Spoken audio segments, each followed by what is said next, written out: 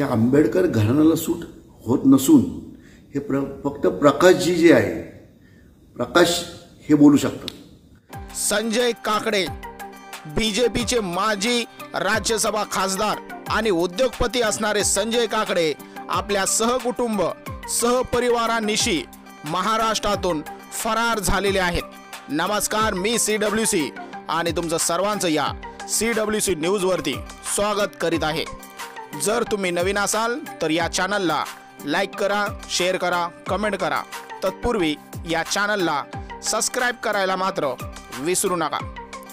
गेल्या काही दिवसापूर्वी संजय काकडे यांनी वंचित बहुजन आघाडीचे प्रमुख ॲडव्होकेट प्रकाश आंबेडकर साहेब यांच्यावरती टीका करताना म्हणाले होते की प्रकाश आंबेडकर यांचं आडनाव सोडून प्रकाश या नावाला धरून महाराष्ट्रातील जनता त्यांना विचारत नाही.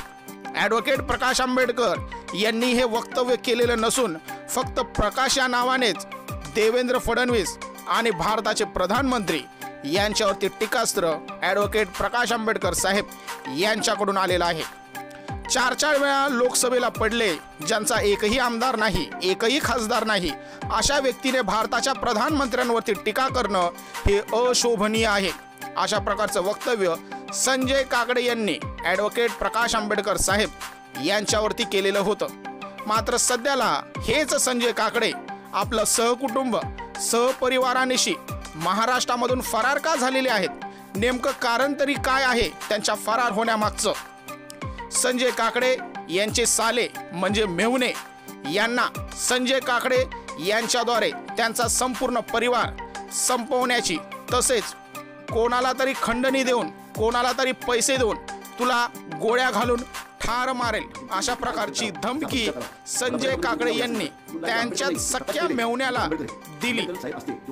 दोन हजार अठरा मध्ये हे प्रकरण घडलेलं होतं. मात्र सध्याला संजय काकडे यांच्या मेहुण्याने अशा प्रकारची तक्रार पोलिसांमध्ये दाखल केल्याच्यानंतर पोलीस हे संजय काकडे यांना पकडण्यासाठी त्यांच्या घरी गेले.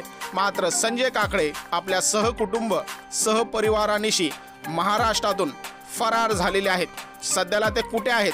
कुठे गेलेले आहेत? याचा मागोवा पोलीस घेत आहेत. जो संजय काकडे ॲडव्होकेट प्रकाश आंबेडकर साहेब यांच्यावरती टीका करतो ॲडव्होकेट प्रकाश आंबेडकर साहेब यांची संपूर्ण माहिती ठेवतो. त्याच संजय काकडे यांनी स्वतःच्याच मेहुण्याला ठार मारण्याची जी धमकी दिलेली आहे यावरून संजय काकडे आपल्या स्वतःच्या परिवारामध्ये कोणत्या लेवलची भाषा आणि कोणत्या लेवलचे राजकारण आपल्याच कुटुंबात करतात हे दिसून आलेलं आहे.